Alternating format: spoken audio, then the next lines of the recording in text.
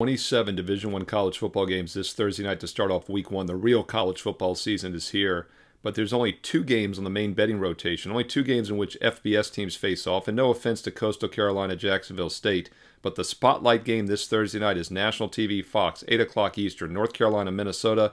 And I've got a money-making opportunity, a free play for you in that game coming up here with analysis in just a moment. Hi, this is Steve Merril, WagerTalk.com, right back here on Wager Talk TV, and we're breaking down the spotlight game to start week one here on Thursday night, August the 29th, 8 o'clock Eastern, Fox National TV, North Carolina at Minnesota. And this is a revenge game for the Golden Gophers. Uh, they dropped their third game of the season last year, their first road game last year at North Carolina about a year ago, 31 to 13. They were a seven point dog in that game, and it did stay under the total of 52 points. And that was actually pretty impressive because North Carolina, of course, for several years has been a high scoring offensive team. But Minnesota's offense did struggle at times last year, and especially in that game, it stayed under the total. But I think the under is worth a look again here in the rematch in week one. Now, Minnesota does qualify as a home dog with revenge against a UNC team that looks weaker on offense after losing the number three overall NFL draft pick, quarterback Drake Maye this past spring.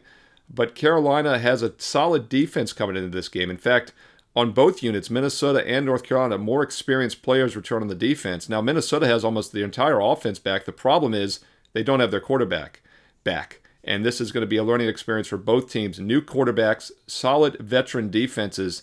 And of course, the defense is usually ahead of the offense early in the season in college football because there's no preseason, there's no exhibition games. Coming out of the gate here, defense has the edge, especially with a full month to prepare for the opponent. And I like the under uh, 50 and a half in this one. I said 48 and a half earlier. I misspoke. 50 and a half, as this is a little bit tick below 51, which is a very key number. So here's the strategy I would use is wait. Get closer to kickoff. Let's see if the public money, the public likes overs. Let's see if they push it higher to 51 because 51 is a very key number in both college and pro football. Lots of totals get us there. 27, 24, um, you know, 41 10. Lots of margins can get you to 51. It's a key number. 27 24 is the most likely in this matchup because I think it'll be a competitive game. But my point is the risk reward of waiting here is very good. Wait and try to get a 51 if you play the under. See if it becomes available by kickoff Thursday night. If not, you can always wait a second or two into the game. But the problem with doing that is if nobody scores early, that total is going to drop. So once again, I like the under, currently 50 and a half if you check the Wager Talk live odds screen. But hold off near kickoff. Let's see if you can find a 51. And if you see a 51 or higher, that's when you jump in, as that is a very key number in both college and pro football. So once again, Minnesota, North Carolina under the total is the way I would look. North Carolina, as I mentioned, lost their uh, top quarterback Drake Maye, from last year. Uh, they did get SEC transfer Johnson in, but they got Harrell as well. It looks like they could have a two-headed monster at quarterback here for game one, but I think they're going to rely more on the running game for that reason. And Minnesota was a notch down last year defensively, giving up 27 points a game. But keep in mind, the two years before that, uh, when they went a combined 18 and 8, 9 and 4 back-to-back seasons, they gave up only 14 and 17 points those two years, and they do they do return one of the 25 most experienced defensive units in the nation this year. So I think Minnesota will get back to be more of a defensive team. I think that offense could be suspect, especially breaking in the new quarterback. I look for a conservative game plan by both teams here in a spotlight game. That also helps the under. Once again, under 50 and a half, but wait and try to get a 51 between Minnesota and North Carolina. 8 o'clock Eastern Thursday night on Fox National TV.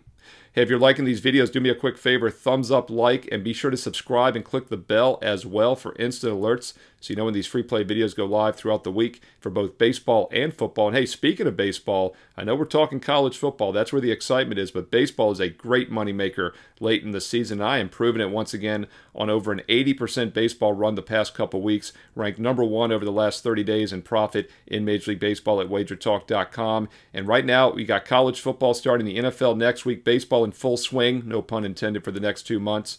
Not a bad time to pick up an All Sports All Access subscription. We also have a football intro special right now. Buy two weeks, get the third week for free. Get some baseball with it as well. Just a great time to check out wagertalk.com. And my page has a daily free play every day as well. Steve Merril, wagertalk.com. To get those strong baseball and football best bets, get a daily free play and go there right now. Steve Merril, wagertalk.com. And get there quicker with shortcut wt.buzz slash sm.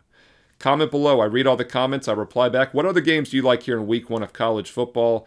And don't forget to comment below because I do reply back on all these videos. And also check out my college football top 25 video into this weekend here on Wager Talk TV. Yet another reason, thumbs up, like, hit subscribe, and click that bell for instant alerts. You can also follow me on Instagram at Steve Merril, also on Twitter, on X at Steve Merril. It's two R's, one L at Steve Merril, two R's, one L, at Steve Merril on Twitter, X, and Instagram. And stay tuned here on Wager Talk TV for some more great free content coming up next.